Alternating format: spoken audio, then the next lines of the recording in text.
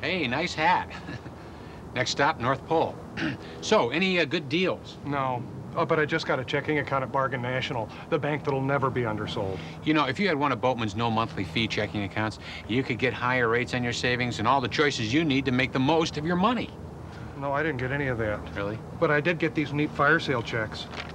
I think you should get over to Boatmen's. You get a lot more for your money, and that's a lot safer. Isn't that right, Sparky? Oh, he's scared stiff.